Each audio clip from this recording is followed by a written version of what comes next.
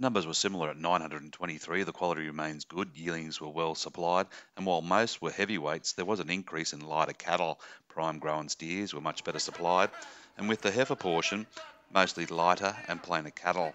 Around 250 mostly good heavy cows were penned. Weaner steers sold to 590. The medium weight yearling steers were 10 cents cheaper to restocking orders, 436 to 490, and feeders paid 420 to 465. Large runs of heavy feeders were firm. On the leaner two scores, 418 to 470, while the heavy three scores lost 5, 382 to 452. Feeder heifers lost 10, 370 to 433. Heavy trade steers gained 11, 440 to 460. Growing steers dropped 7, 344 to 390. The heifers to feed reached 390. Cows eased 3 to 6 on the heavyweights, 280 to 318. This has been Graeme Richard for the MLA.